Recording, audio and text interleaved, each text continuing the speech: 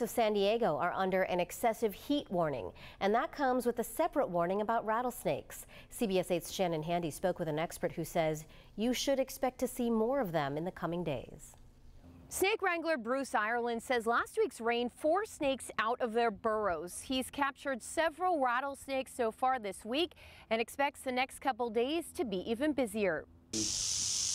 We had seven calls Sunday, five on Saturday, and Today, I'm sure we'll have many. Bruce Ireland with San Diego Snake Wranglers has been keeping busy lately. Of the 12 calls he responded to this past weekend, nine involve rattlesnakes. They're cold blooded, as you know. They come out to warm up in the morning.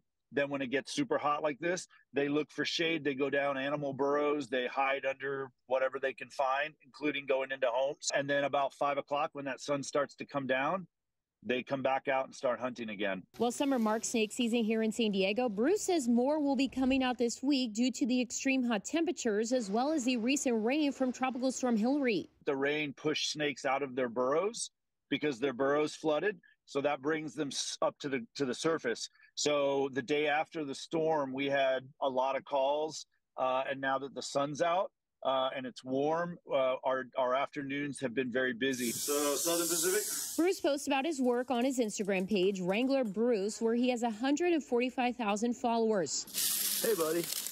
You're not allowed to be in there. He mostly sticks to North County, but says snakes can be found anywhere, including along our coast. And not just rattlesnakes. This weather brings out all types. That's a big, full gopher that ate your rat that would have been in here. Here's video Bruce shot on Saturday capturing a gopher snake near Tamarack Beach in Carlsbad. Not a rattlesnake. Bruce says if you come across a snake, particularly a rattlesnake, give it space so it doesn't feel threatened. They're not evil. They're not out to get us. They're not going to chase you. They're not going to jump.